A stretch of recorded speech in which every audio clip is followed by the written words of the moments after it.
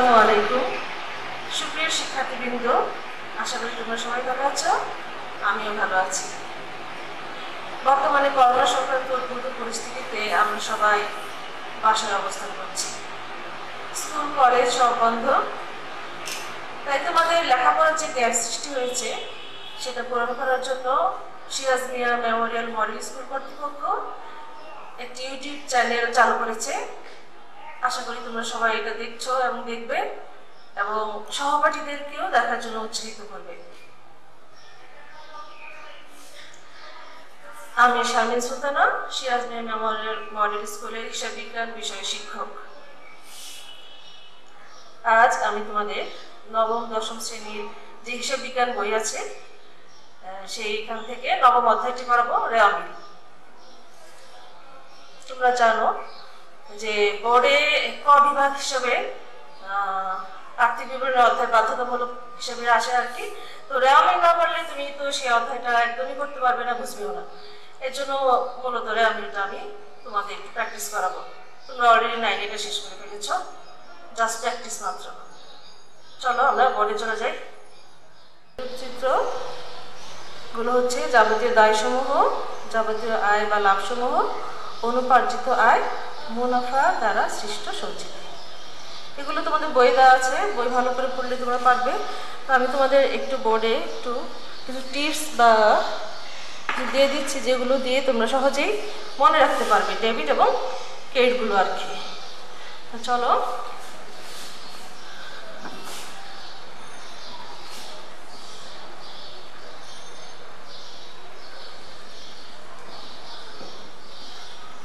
মনে রাখবে?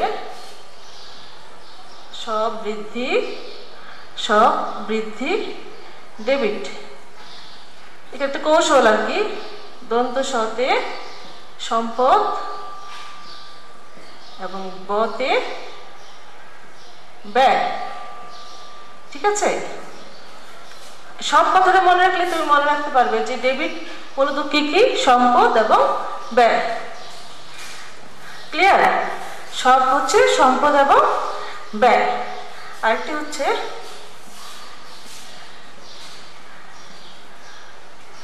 আদম। আদম বৃদ্ধি, ক্রেডিট।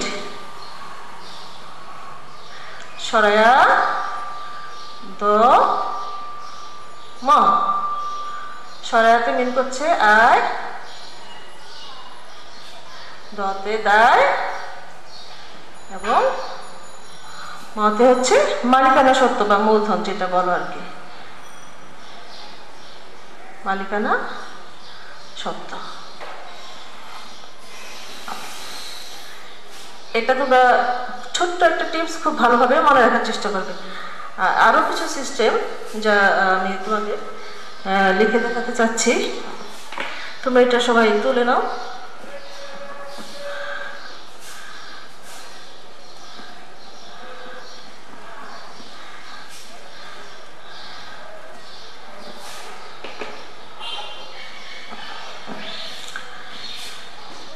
এক খরচের বকেয়া দায় বা ক্রেডিট। যেমন বকেয়া বেতন।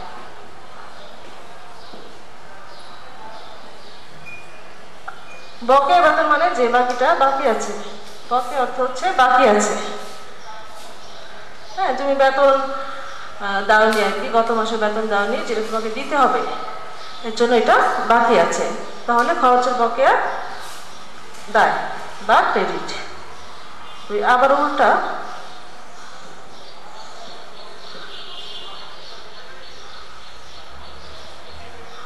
খরচের অগ্রিম সম্পদ বা ডেবিট যেমন অগ্রিম বেতন।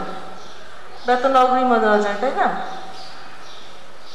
তুমি তোমার ওয়ার্কার্সদের অগ্রিম বেতন দিয়ে ফেলেছ। পরে আর তোমাকে দিতে হবে না। সেম আয় আয়ের বকেয়া সম্পদ বা ডেবিট যেমন বিনিয়োগের সুদ হচ্ছে কি? আমাদের এক ধরনের আয়। তুমি বিনিয়োগ করেছ সুদটা তুমি পাচ্ছ। এর জন্য বিনিয়োগের সুদ তোমার আয়। যেমন বকেয়া বিনিয়োগের সুদ। সুদ। চার আয়ের অগ্রিম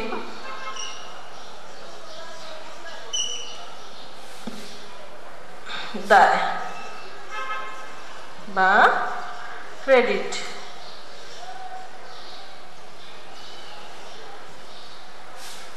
যেমন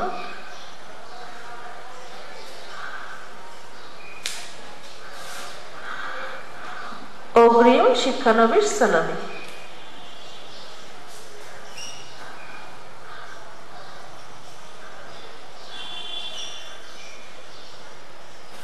সালামি।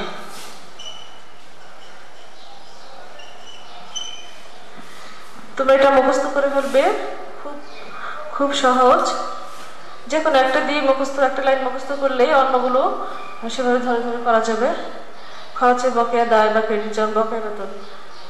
একটা লাইন তুমি যদি ভালোভাবে মুখস্থ করো অন্যগুলি উল্টা, তার উল্টা সেভাবে করে মনে রাখতে তোমার জন্য সুবিধা হবে। মনে রাখবে, পাবো বোঝালে সম্পদ, দিতে হবে বোঝালে দায়। যেটা তুমি ভবিষ্যতে পাবে, সেটা সম্পদ। এবং যখন তোমাকে দিতে হবে তখন সেটা তোমার দায়বদ্ধতা সৃষ্টি হবে মানে দায় আর কি। আরেকটা জিনিস, সুদগুলো সাধারণত উল্টা হবে, যেমন মূলধন ক্রেডিট তাহলে মূলধনের সুদ হবে ডেবিট সেম উত্তোলন ডেবিট তাহলে উত্তোলন সুদ কী হবে? ক্রেডিট মানে উল্টাটা হবে, এটা মনে রাখবে। আসো এখন আমরা নেক্সট রামিলের উদ্দেশ্য, আমি এখানে লিখে রেখেছি মূলত জাস্ট মেইন দুটো উদ্দেশ্য। একটা হচ্ছে হিসাবের গাণিতিক শুদ্ধতা যাচাই এবং আরেকটা হচ্ছে আর্থিক বিবরণী তৈরিতে সহায়তা করা। হ্যাঁ এই উদ্দেশ্য দুটো তোমরা অবশ্যই মনে রাখতে হবে। এবং আমি তোমাদের যে ডেবিট আইটেম ক্রেডিট আইটেম তৈরি করার যে টিপসগুলো দিয়েছি সব মুখস্থ করে ফেলবে। অবশ্যই অবশ্যই। তাহলে আর আমের তলিতে তোমাদের কোনো কষ্ট হবে না। প্লাস বইটা অবশ্যই ভালো করে পড়বে। এখন তোমরা সবাই মেন বই চলে যাও। মেন বই একশো আটত্রিশ পৃষ্ঠা, সৃজনশীল এক।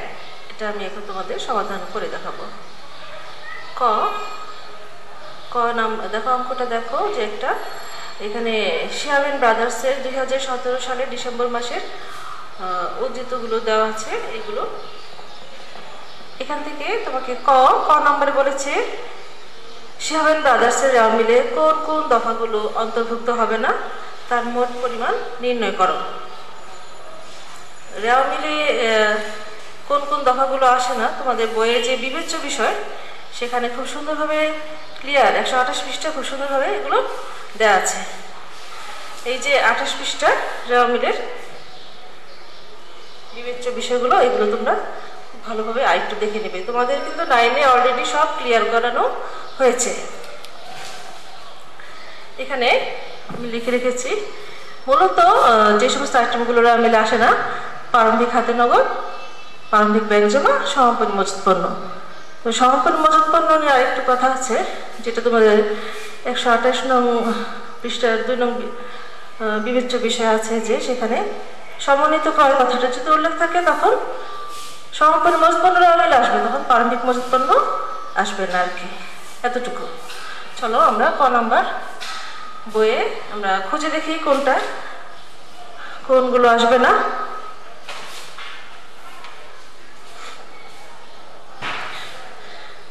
এখানে দেখা যাচ্ছে হাতে নগদ এক এক সতেরো, যেটা প্রারম্ভিক হাতে নগদ, সেটা আসবে না। লিখি হাতে নগদ এক এক সতেরো।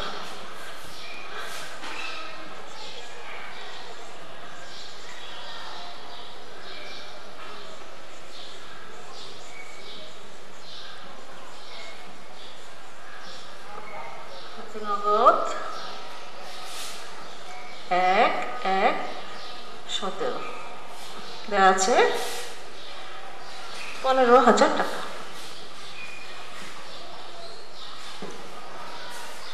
নেক্সট আমরা আরও এখানে দেখা যাচ্ছে লাস্টের দিকে মজুত পণ্য, সমাপনী মজুত পণ্য বারো হাজার টাকা। সমাপনী মজুত পণ্য বারো হাজার টাকা।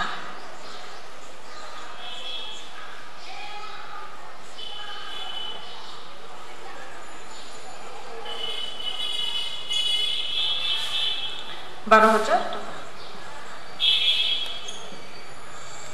তাহলে টোটাল যোগ করো। যোগ করলে আসবে তোমার সাতাশ হাজার।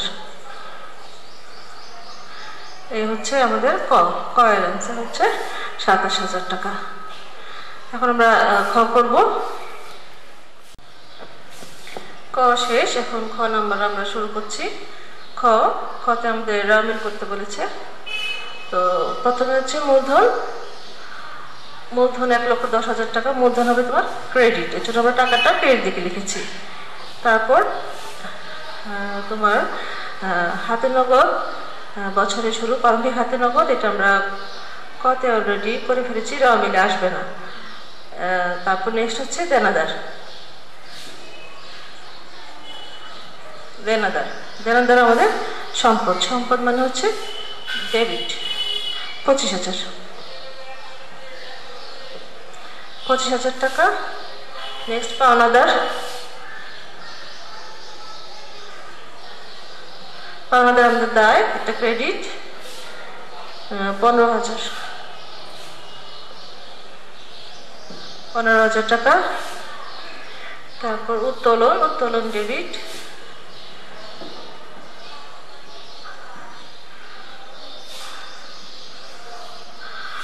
উত্তোলন পনেরো হাজার টাকা। সরি উত্তোলন দশ হাজার টাকা।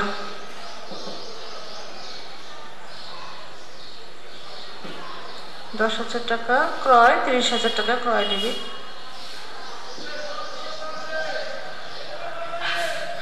তিরিশ হাজার টাকা। তারপর হচ্ছে বিক্রয় বিক্রয় পঁয়তাল্লিশ হাজার টাকা, বিক্রয় ক্রেডিট বিক্রয় পঁয়তাল্লিশ হাজার। টাকা পঁয়তাল্লিশ হাজার টাকা, তারপর বিনিয়োগের সুদ, এটা আয় এটা ক্রেডিট বিনিয়োগের সুদ।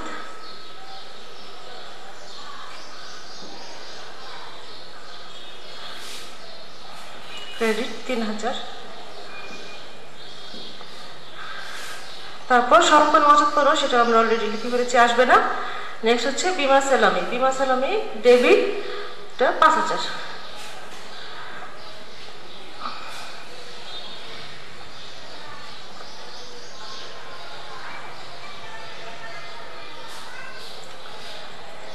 পাঁচ হাজার। আমি এগুলো মুছে নেক্সটগুলো করাচ্ছি। স্পেস হচ্ছে না।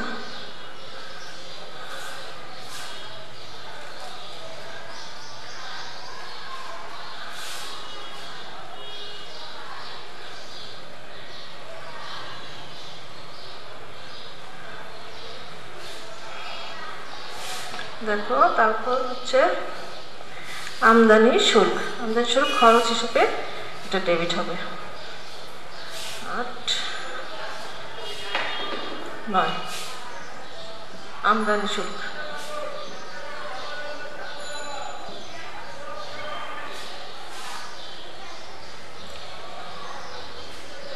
আমদানি শুল্ক তিন হাজার পাঁচশো টাকা।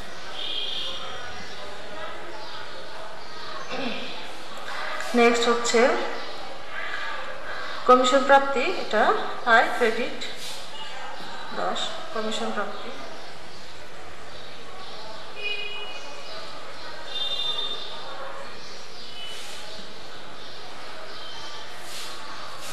হচ্ছে দুই হাজার।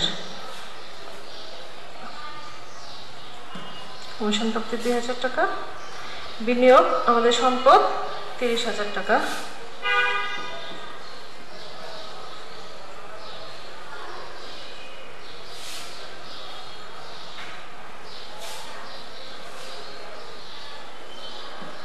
তিরিশ হাজার টাকা।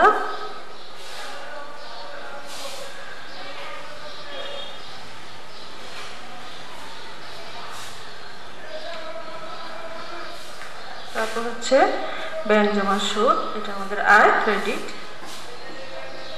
ব্যাংক জমার সুদ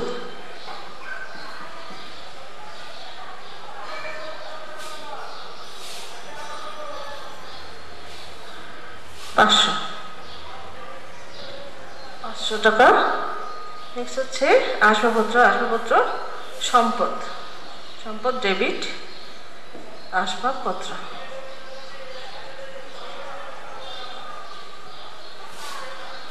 চল্লিশ হাজার টাকা। চল্লিশ হাজার টাকা। নেক্সট বিজ্ঞাপন। বিজ্ঞাপন আমাদের খরচ ডেবিট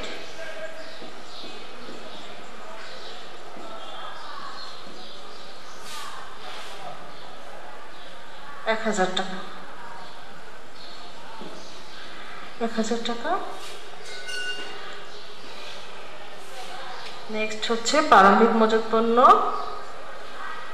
প্রারম্ভিক মজুত পণ্য পঁচিশ হাজার টাকা।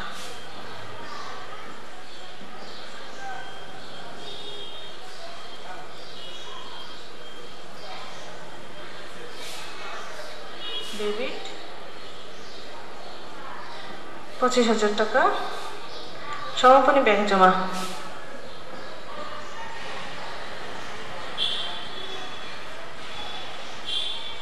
সমাপনী ব্যাংক জমা। ব্যাংকে জমা টাকা, এটা আমাদের সম্পদ। এটা ডেবিট ছ হাজার।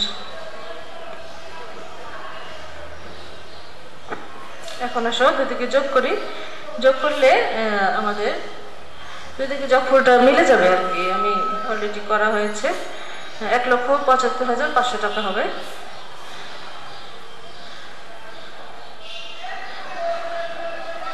দুদিকে মিলে যাবে অঙ্কটা তোমাদের।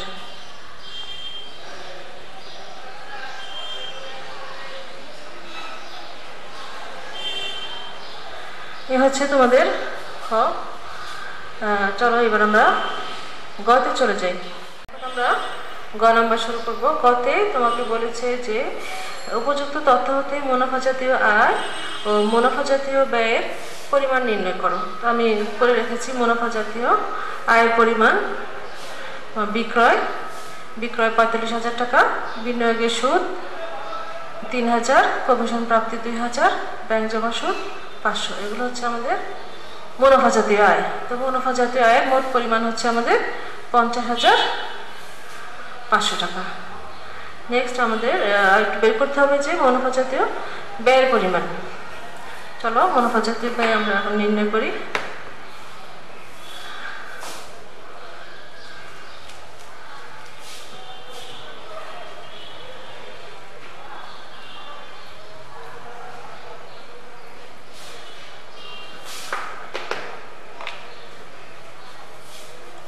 ব্যয়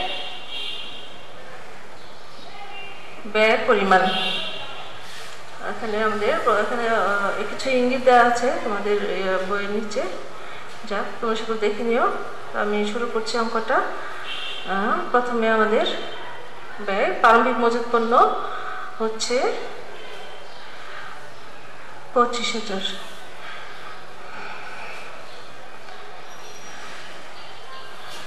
প্রারম্ভিক মজুত পণ্য।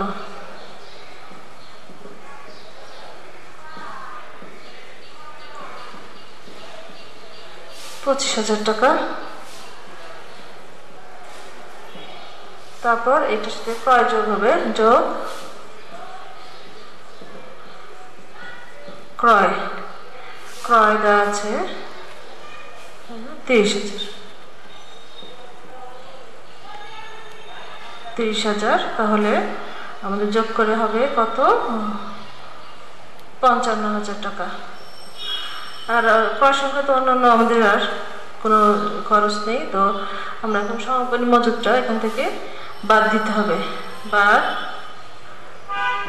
সমাপনী মজুত পণ্য।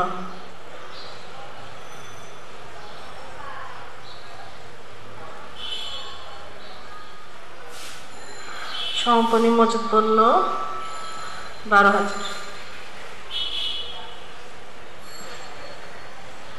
তাহলে এটা বিয়োগ করলে হবে।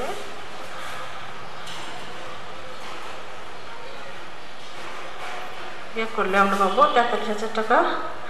সাথে যে কর সংক্রান্ত অন্যান্য আরও যে আমাদের যে প্রত্যক্ষ খরচগুলো আছে, যেমন বিমা সালামি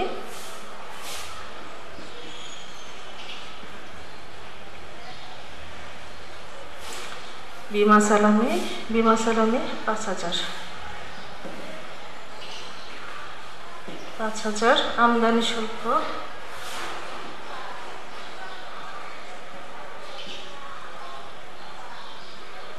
আমদানি শুল্ক হচ্ছে তিন হাজার পাঁচশো। নেক্সট আমার বিজ্ঞাপন। বিজ্ঞাপন এক হাজার। এক হাজার টাকা।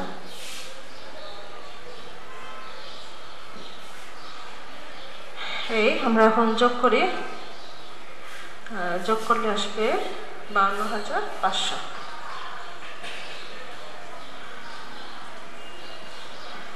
তোমরা সবসময় হিসাব দুই দাগ দিয়ে বন্ধ করে দিবে। এটা আমাদের হিসাব বিজ্ঞানের একটা রুলস একটা সিস্টেম হ্যাঁ এই হচ্ছে আমাদের মুনাফা জাতীয় ব্যয়ের পরিমাণ বান্ন হাজার পাঁচশো। তোমরা উত্তরে উত্তরে ভাবে লিখতে পারো যে বই বলেছে যে মোট মুনাফা জাতীয় আয় হ্যাঁ মোট মুনাফা জাতীয়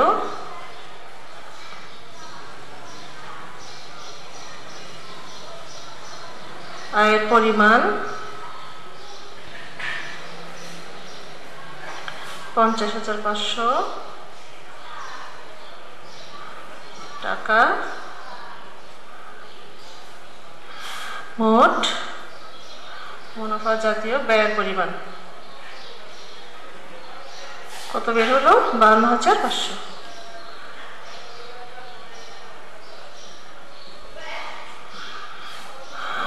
এই ছিল আমাদের অঙ্ক। ক, খ, গ তিনটা সলভ করানো হলো। তোমরা বাসায় নিয়মিত অঙ্কগুলো করবে। হ্যাঁ বই ভালো করে তোমরা অবশ্যই রিডিং করবে। এখন বাসায় বসে আছো, বাসায় তো অফরন্ত সময়। তোমরা বই একদম পড়তে চাও না। বইগুলো বারবার রিডিং করবে, যত রিডিং করবে তত ক্লিয়ার হবে। বই তোমাদের অনেক কথা দেওয়া থাকে, তোমরা অবশ্যই বইগুলো পড়বে। আশা করি তোমরা অঙ্কটা সবাই বুঝতে পেরেছ। সবাই ভালো থাকবে। নিয়মিত ক্লাসগুলো দেখবে, অনুশীলন করবে। সেই প্রত্যাশা বিদায় নিচ্ছি। আসসালামু আলাইকুম।